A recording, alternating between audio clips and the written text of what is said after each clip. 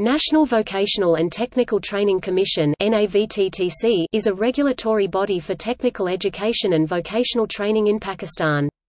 It was founded by its chairman Altaf M. Saleem.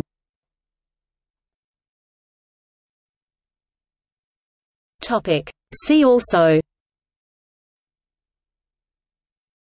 Technical Education and Vocational Training Authority, Punjab Sindh Technical Education and Vocational Training Authority.